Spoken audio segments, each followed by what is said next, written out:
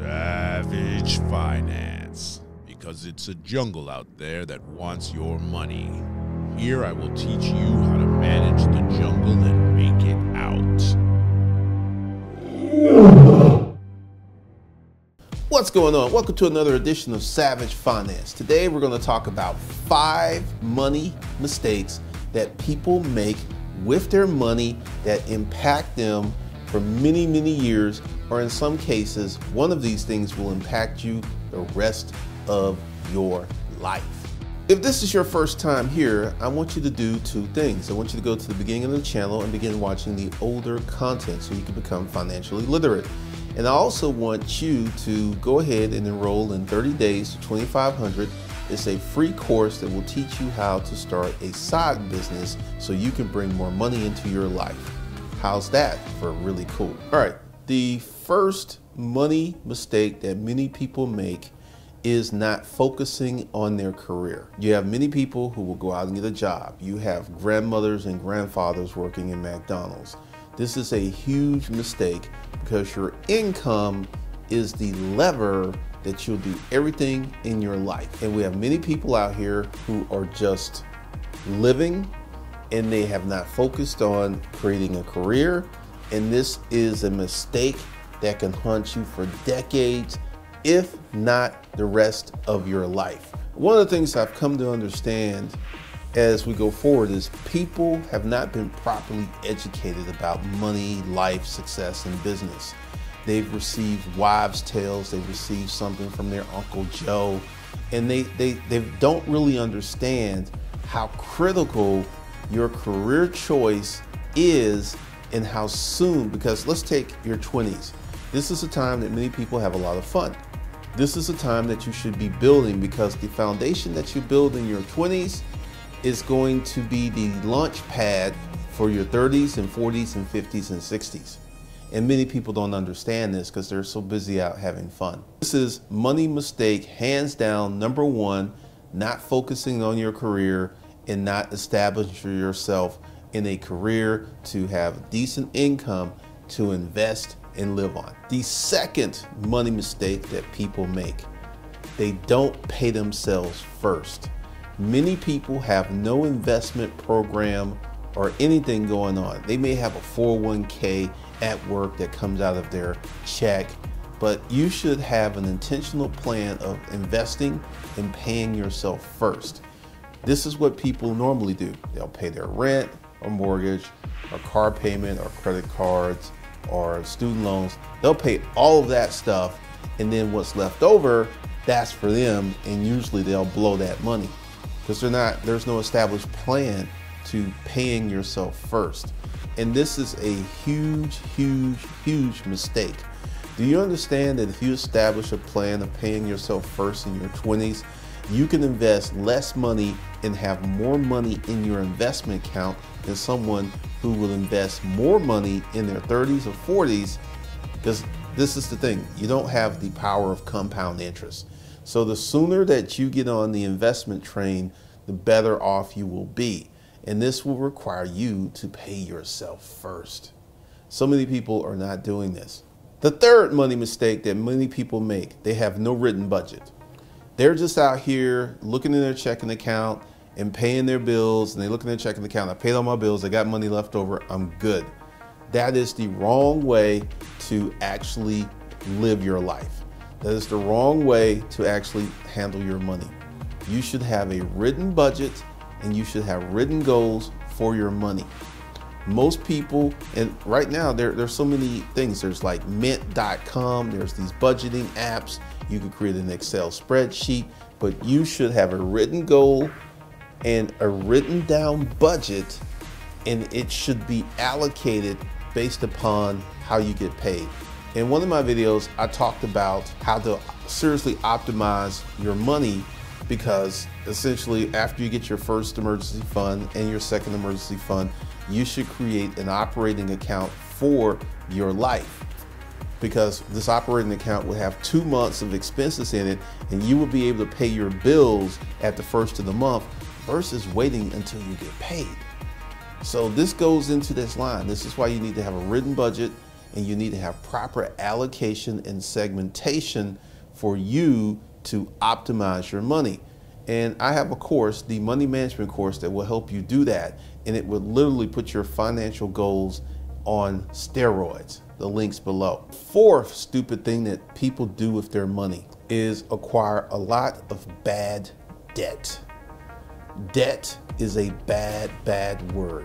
You will have people out here who will finance their purses, they will finance their shoes, that they will go out and throw it on the credit card and be paying 18 up to 30% interest, and they will pay for this item over and over and over. There's good debt and there's bad debt. Most consumer spending creates a lot of bad debt. Most consumer spending creates a lot of harmful debt. And as we are witnessing during this pandemic, a lot of people are strapped. A lot of people are in a very bad situation. And this is something because honestly, you were pulled into the American credit indoctrination system and you didn't understand what you were literally engaging in. And this is a harmful practice because it starts when you're in high school, then you go to college and you take out student loans. While you're in college, they'll send you a credit card.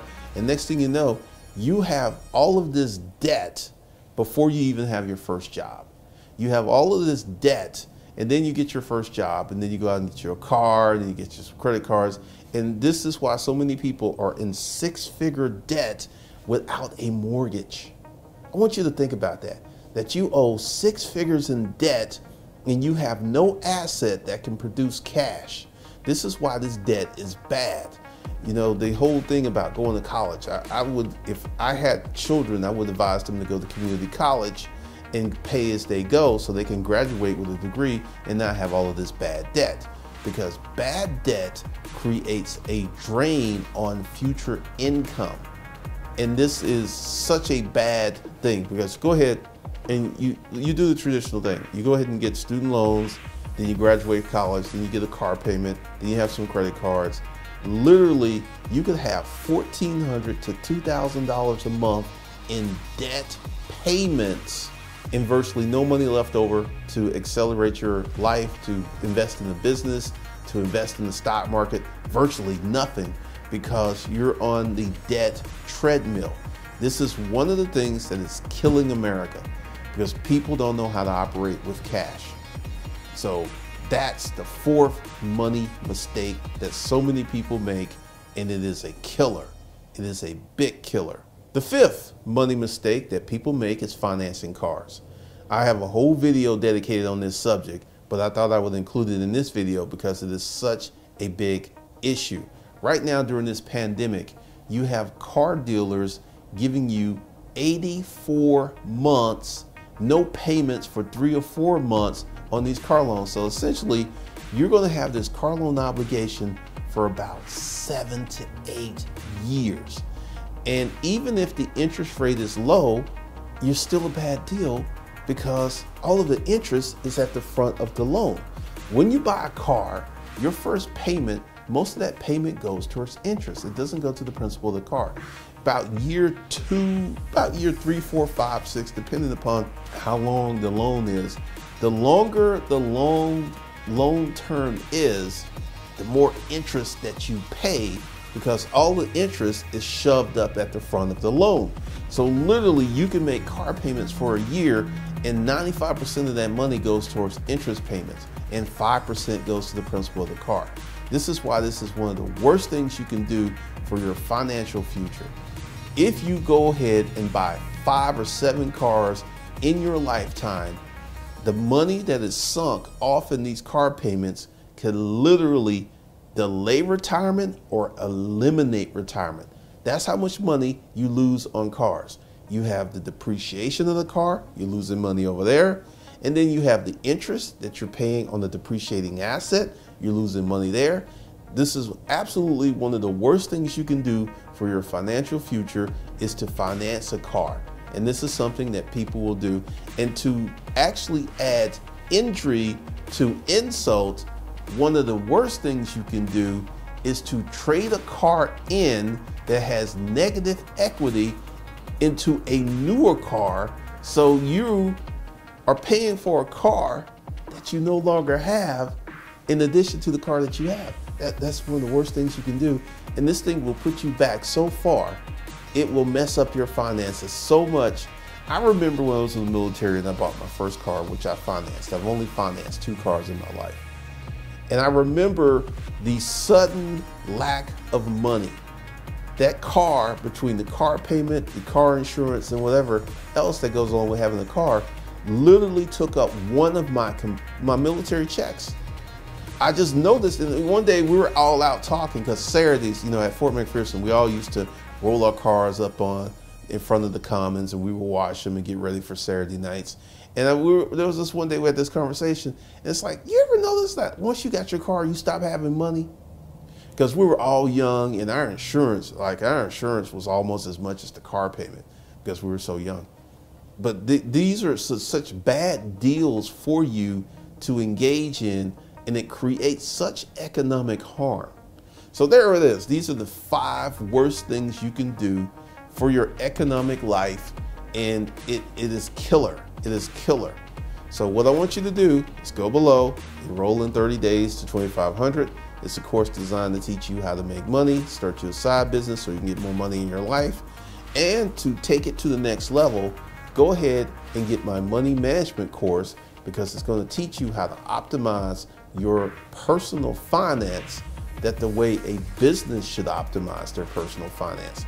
And many businesses don't optimize their personal finances like this. This is why so many of these businesses are literally going to go out of business during this pandemic. They don't have good books, they don't have good checking accounts, and they're not running their financial section of their business the way that they should. What the money management course will do is teach you how to optimize and set up your personal finances so you can win this money game. So there should be another video right here. Check it out, check it out, check it out.